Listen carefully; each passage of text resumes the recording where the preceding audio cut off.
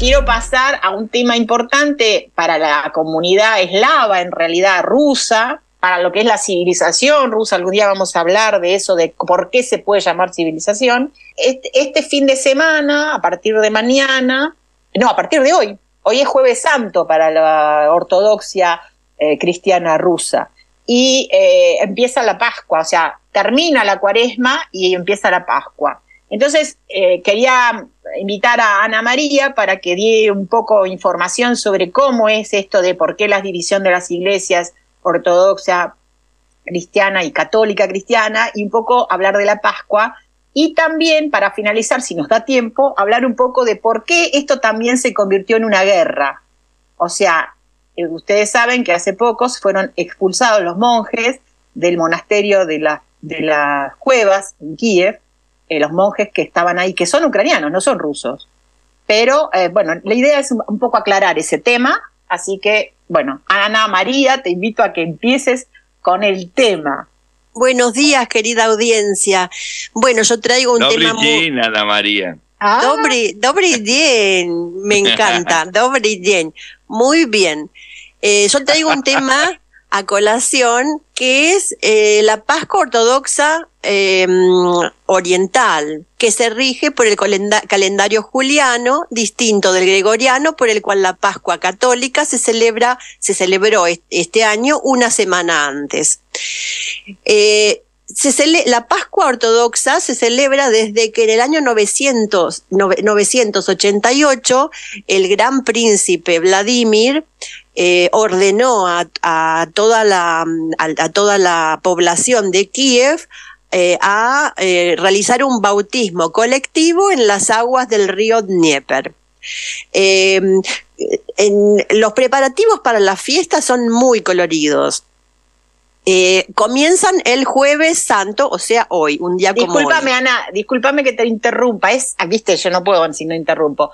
Hay que aclararle a la gente que el río Dnieper es el río que atraviesa Kiev, que es la capital de Ucrania. En ese momento, la, el Kiev era la capital de toda Rusia, para que no se para que se entienda históricamente, Rusia como origen, como Estado, nació en la, lo que se llamaba la Rusia de Kiev. O sea, Kiev fue la primer capital de Rusia y la primer capital eh, ortodoxa.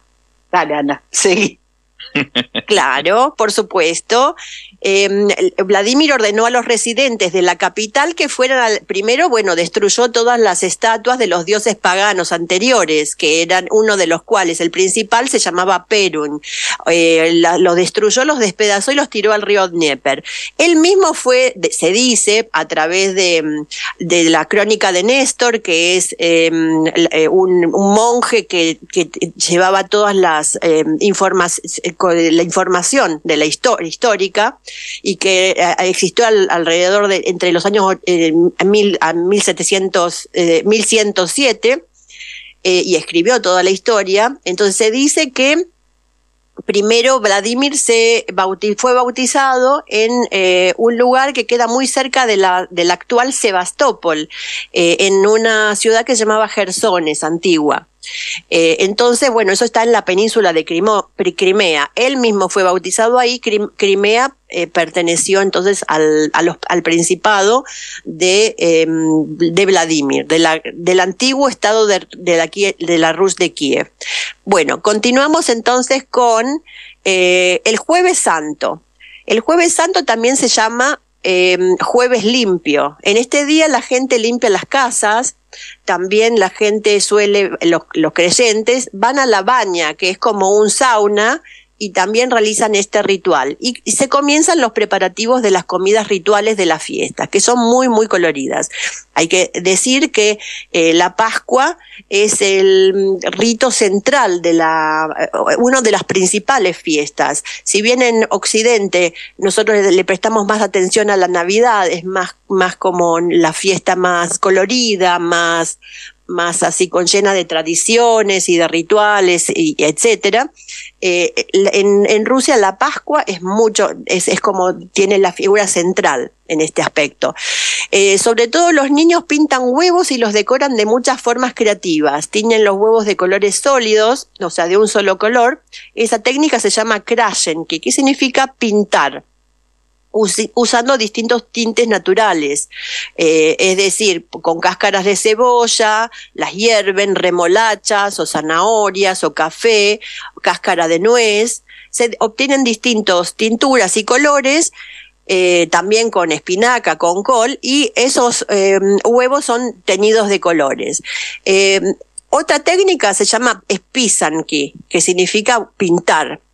Em, eh, en otras, otras técnicas son Krashenki, Skriavanki y male.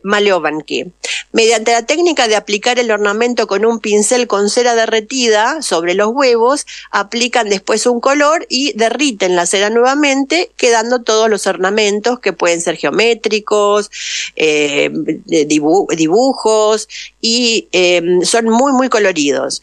Eh, también se, hornea un pan dulce de Pascua que se llama kulich, que es muy parecido al pan dulce tradicional nuestro, ¿no? Con inscripciones y con, con, muchos colores.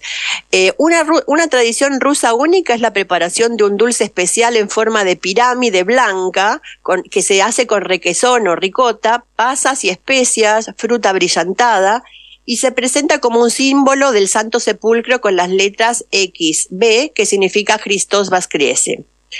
El sábado santo los creyentes eh, hacen cola en las iglesias para bendecir estos huevos y todos los pasteles.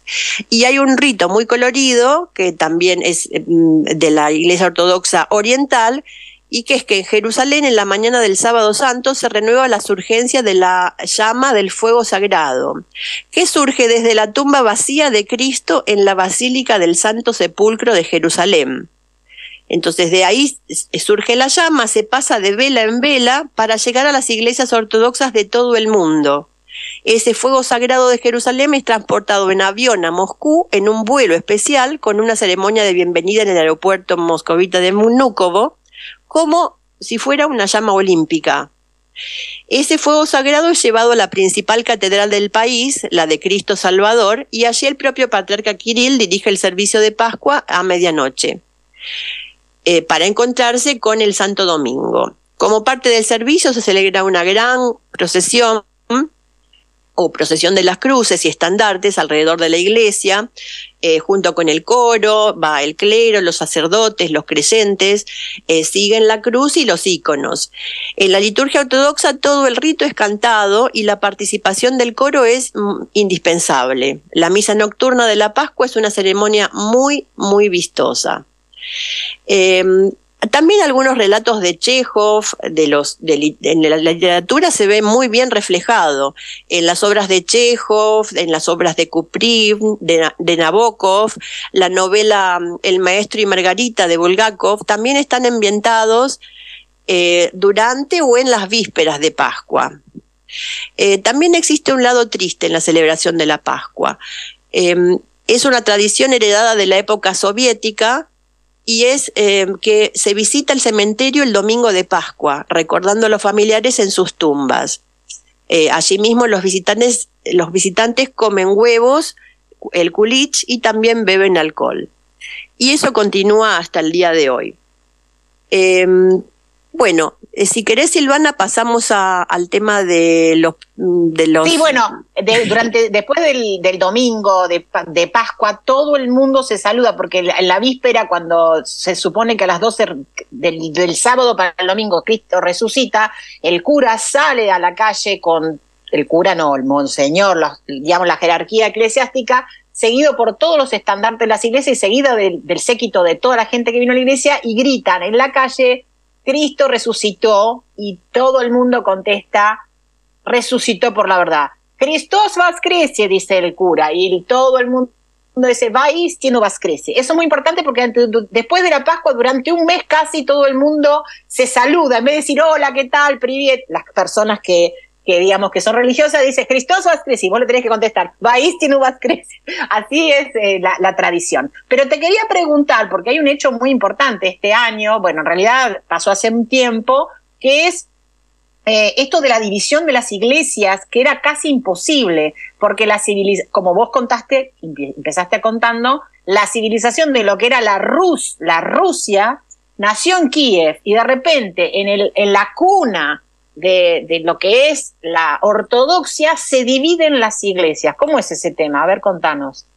Bueno, sí, eso sí, eso es muy importante porque en mil, como habíamos contado, em, Vladimir el, el Grande eh, cristianizó en la Rusia de Kiev en el año 988. O sea que en el año 1988 los fieles de las iglesias ortodoxas orientales eh, que tenían sus raíces en este bautismo, celebraron un milenio de cristiandad eslava oriental, unificadas en un solo, digamos, incluso eh, Bulgaria, eh, Bielorrusia, Bielorrusia, todos ellos festejaron o celebraron el milenio en 1988. Luego Moscú en el año 2016 coloca una estatua de Vladimir el Grande en muy cerca del Kremlin. Entonces, bueno, los medios occidentales inmediatamente lo asocian a que Vladimir pone una a un a, un a su homónimo para vigilar muy de cerca lo que sucede en el Kremlin. qué horror, qué raro, ¿no? La BBC de Londres. Si ustedes lo ven, lo van a leer de esa manera. Nunca algo nunca una noticia buena. Pero bueno, eh, estamos en, este tema. Eh, como vos dijiste, en, la, en, la, en Ucrania, Kiev queda en Ucrania. Y en Ucrania está eh, la, la, cuna de esta, de esta Rusia de Kiev. El 17 de abril del 2018, los obispos de la Iglesia Ortodoxa Ucraniana del Patriarcado de Kiev y de la Iglesia Ortodoxa autocéfala ucraniana solicitaron la concesión de autocefalía a la Iglesia Ortodoxa de Ucrania del al Patriarcado Ecuménico de Constantinopla. Es decir, solicitan la independencia de, eh, la, Iglesia Ortodoxa eh, rusa, eh, en resumen tras la celebración de un concilio sagrado y el Santo Sínodo del Patriarcado Ecuménico, los días 19 y 20 de abril del 2018, en un comunicado y según palabra del patriarca Bartolomé, que es el representante del Patriarcado Ecuménico de Constantinopla, se declara que no existe ningún territorio canónico de la Iglesia Ortodoxa rusa en Ucrania, ya que Moscú se anexionó a la iglesia ucraniana en 1686 de forma canónicamente inaceptable. O sea que descubrieron, para que la gente entienda, descubrieron una cartita donde había 10 renglones en donde, a donde se apoyaron para decir que todo este casi milenio estuvieron equivocados, o medio siglo. Y en el marco. es increíble. Y, en el marco de la preparación, de la preparación de la concesión de la autocefalía a la Iglesia Ortodoxa de Ucrania, em, el Patriarcado Ecuménico de Constantinopla eh, nombra como sus exarcas en Kiev al arzobispo Daniel de Estados Unidos de América y al obispo Hilarión de Canadá, quienes sirven a las iglesias ortodoxas ucranianas en sus respectivos países. Entonces, el 15 de octubre, eh, la Iglesia Ortodoxa rusa anunció su decisión de romper de manera definitiva las relaciones con el Patriarcado Económico de Constantinopla, tras su decisión de aprobar el establecimiento de una iglesia independiente en Ucrania. Entonces, este, es por este motivo que también se libra una, la, la, la, guerra, la, la, lucha, se libra también en el plano eclesiástico eh, en las iglesias en, en la, de las cuevas de Kiev. Sí, pero también, también tiene que, tenés que decir, o sea, tenemos que decir que esto es un plano totalmente político, en donde aparentemente la iglesia no debería entrar, porque no se divide algo según la liturgia o los, digamos, Em, eh, cuestiones puramente eclesiásticas, no hay división en la religión, ¿se entiende? Y, y, lo que se nació, o sea, para que la gente entienda, la palabra ser ruso o Rusia no está solamente adosado a el territorio, como por ejemplo, vos naciste en Argentina, tenés en el territorio argentino sos argentino. Rusia tiene más allá de esto. ¿En qué sentido? En la historia que ella tiene, porque eh, no se puede dividir Ucrania de Rusia en el sentido religioso. Y es por eso que están políticamente armando una guerra y desde afuera, porque como dice Ana, los dos eh, digamos, las dos cabezas más importantes de la iglesia ucraniana hoy no, no son ucranianos, son de Estados Unidos y de Canadá. Eso tiene que quedar claro, digamos.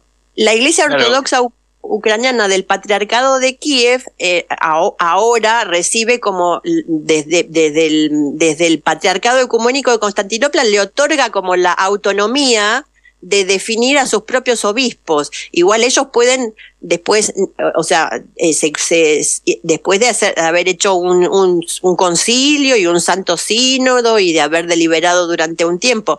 Pero esto sucede el 17 de abril del 2018 luego de a ellos haber eh, celebrado en 1988 el milenio de, de, la, de la tradición. De la iglesia eh, ortodoxa. Ortodoxa, eh, sí, exactamente. Que es que, que, abarca a todos. Esa es la cuestión. No sé si se quedó claro, pero es importante. No, lo que lo que hay que decir es que eh, eh, lo que hay que entender también, lo que no, a lo mejor no, no llega a los, a los, em, al auditorio, es que son perseguidos los, eh, los sacerdotes que, que no están de acuerdo con, con dividirse y cambiar de, de un, un digamos, de, de, pertenecer a una diócesis, pertenecer de repente a otra. Los que no están de acuerdo son encarcelados, como le sucedió ahora al, em, al, al, representante de la iglesia que estaba en las cuevas de Kiev. Sí, también hay que decir esto. Están yendo por todo porque, ¿qué pasa? Eh, hablar de cosas políticas o de cosas geográficas es una cosa. Atacar símbolos culturales. La iglesia de Kiev, el monasterio de las cuevas de Kiev, es la cuna, tenemos que entender esto, es la cuna de la religiosidad ortodoxa rusa, dentro de la cual está Ucrania, Bielorrusia, como dijo Ana. Por eso es muy importante este golpe de efecto. Claro, eh, eh claro, pero es un golpe de efecto, si me permiten, y ya no nos va quedando mucho más tiempo, difícil de comprender. Ustedes mencionaron Constantinopla, este, que es Estambul, si no mal no entiendo. Este, la iglesia ortodoxa eh, está radicada en distintos lugares. El jerarca principal creo que está en Estambul, este, y lo que se produce como síntesis de todo lo que ustedes dijeron, pero es para eh, que lo expliquen un poco más eh, hacia adelante, porque se nos termina el programa, es que la guerra también se da desde Estados Unidos, Canadá, y en, con esto que acaban de contar de Ucrania y de Kiev, este, también en el plano religioso para producir una fractura este, en toda la línea, así como la vemos en, la comunicación y en lo territorial, también en lo religioso. Digo, me quedo con esta síntesis. No sé si totalmente. Está bien. pero también tiene esto, eh, es correcto, pero tiene que ver que la, el plano religioso es milenario, por eso es un golpe muy bajo. ¿Se entiende? Sea, los otros golpes los vienen, los vienen sufriendo con la Segunda Guerra Mundial, con lo que vos quieras, pero el golpe hacia la religión, hacia la creencia, que forma parte de la cultura, más allá de si vos vas a las iglesias los domingos, es un golpe cultural y es un golpe muy bajo, porque dividir las iglesias no tiene sentido.